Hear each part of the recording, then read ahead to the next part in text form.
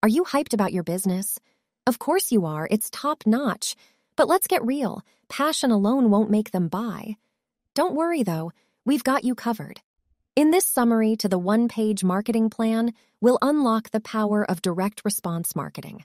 We'll share tactics that are not only affordable, but effective and scalable. Whether you're new to marketing or an experienced business owner looking for quick results, this summary is for you. Chapter 1 Find your target audience and tailor your message. Before we begin, let me ask Do you know who you are selling to? If not, it's time to hit the brakes on your marketing efforts.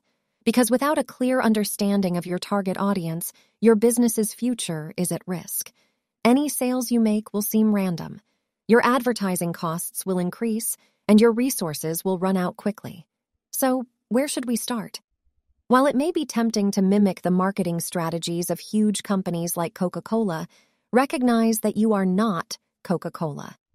Given this, it is best to niche down and adjust your marketing efforts accordingly, because focusing on a specific business subcategory is better than trying to appeal to everyone. For instance, health and fitness is a niche, whereas yoga for pregnant women is a sub niche within the fitness market. By narrowing our focus, we can tailor our message and offerings to the explicit needs of pregnant women who like to practice yoga. Some days you may be worth it, while others you may be loving it. On a good day, you might just do it. We have all heard these phrases from well known brands, but your company's message cannot rely on a fuzzy slogan. This isn't to say you shouldn't try to catch your public's attention. In fact, most companies lack personality in their marketing.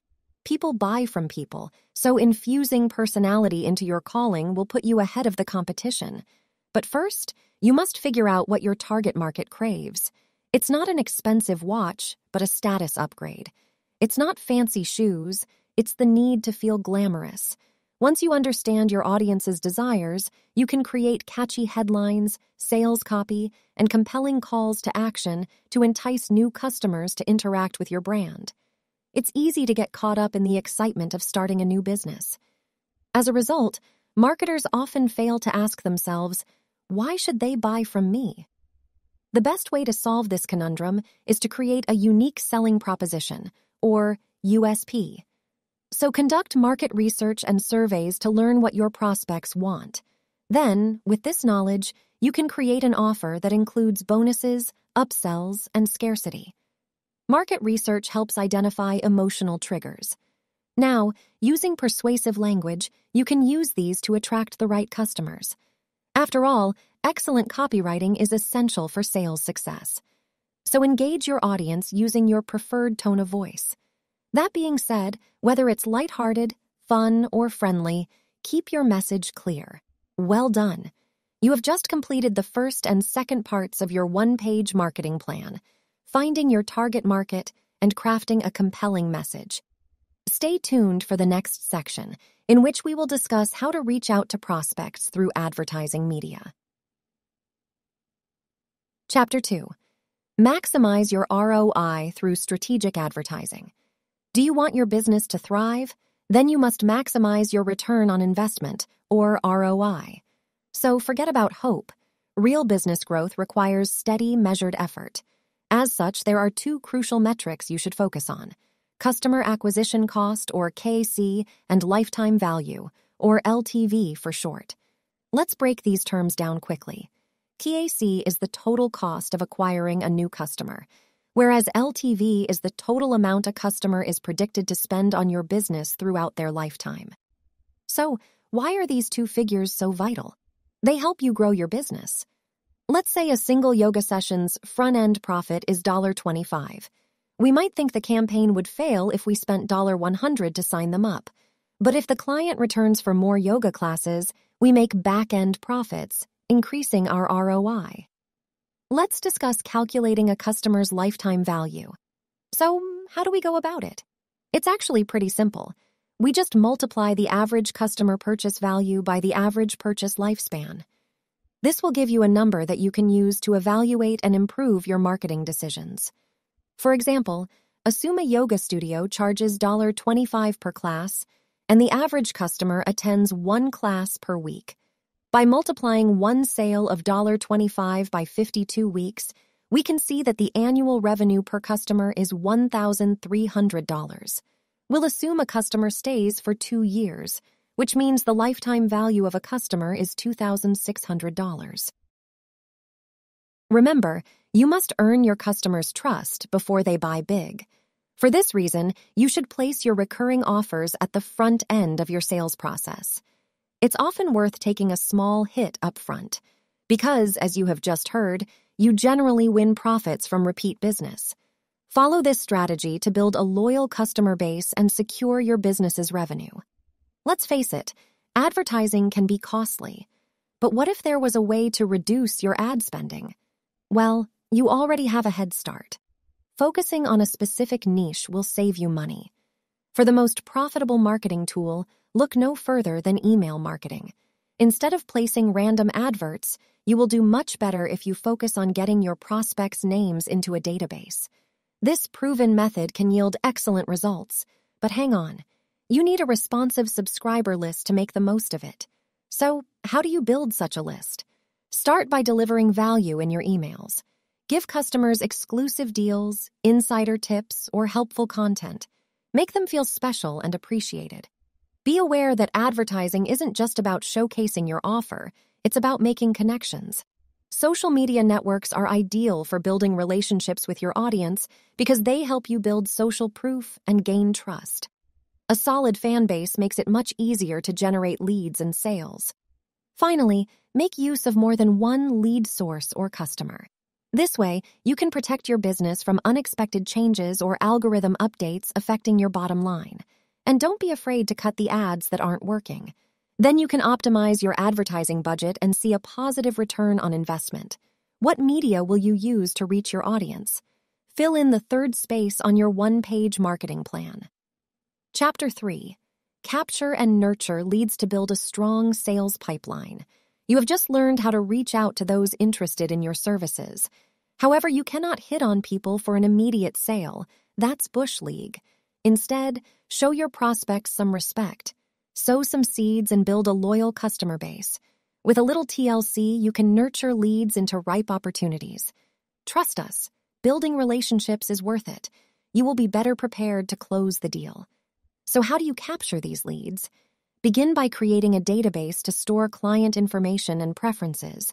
Then you can better understand their needs and tailor your marketing strategy accordingly.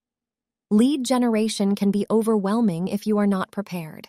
So it's time to bring a customer relationship management or CRM system into play. Consider it your marketing brain.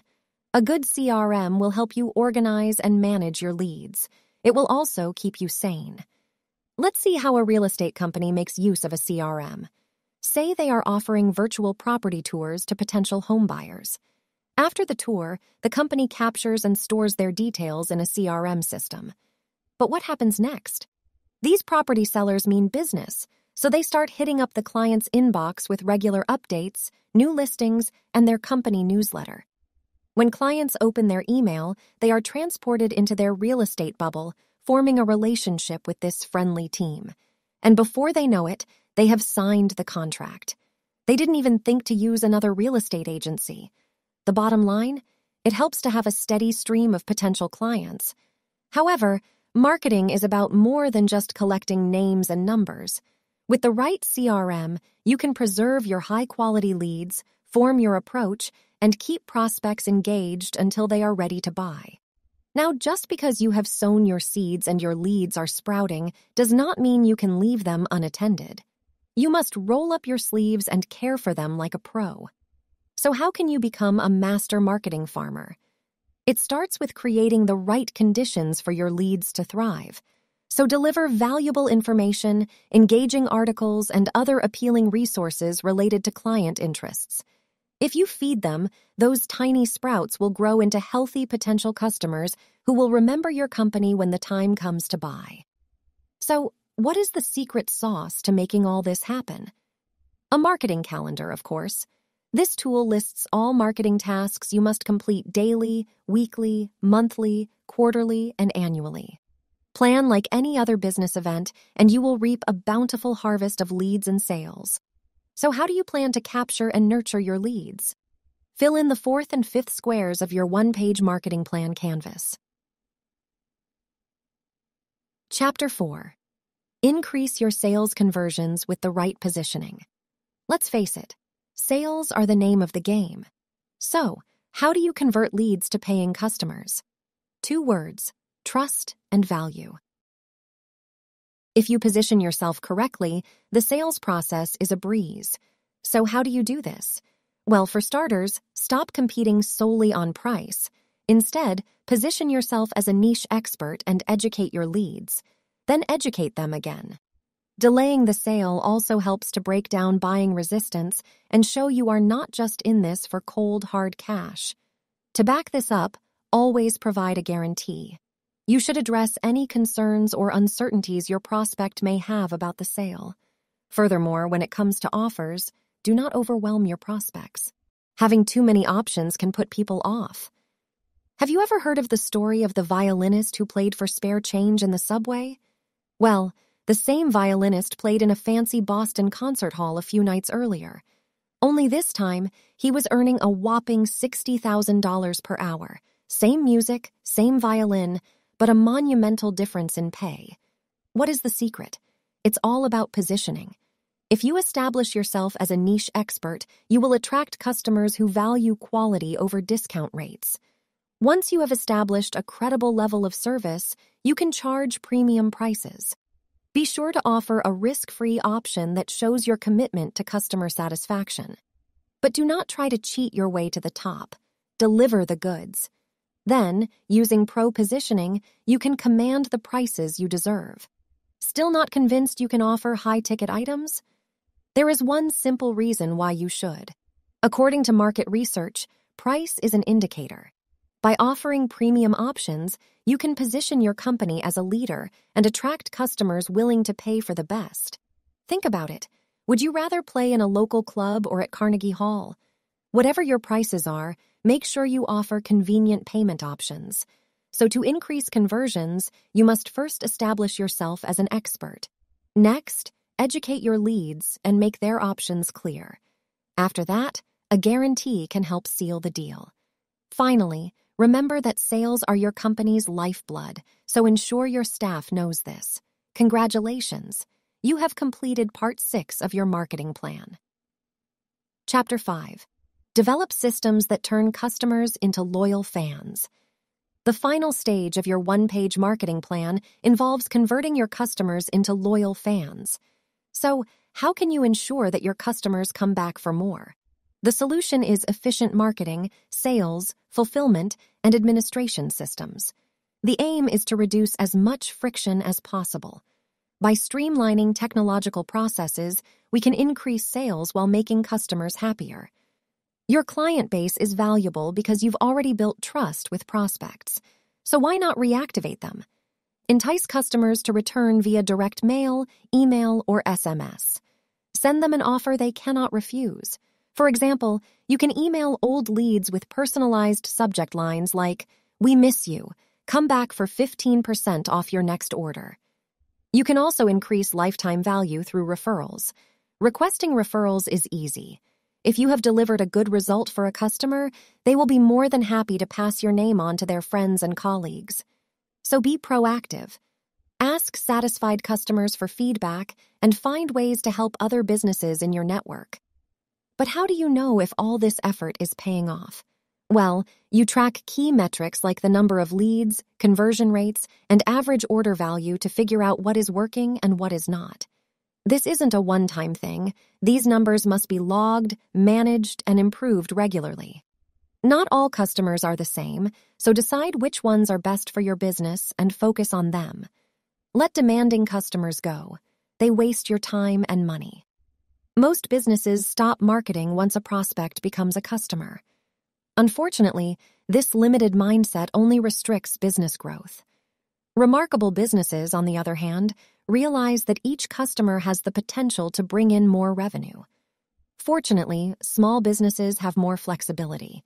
In this case, they have an advantage as they can carefully oversee and respond to client needs and feedback. Final summary. To succeed in direct response marketing, develop a routine and commit to it. Embrace technology to stay ahead of the competition. Remember, the key to attracting and retaining customers is delivering value consistently. Identify what your customers need and offer solutions that meet their demands. If you remain proactive and consistent, you will create a solid customer base. Thanks for listening. If you enjoyed this, please like and subscribe to The Literary Digest for more videos like this one. And don't forget to leave a comment below and let us what you found most helpful. Until next time, keep striving for success.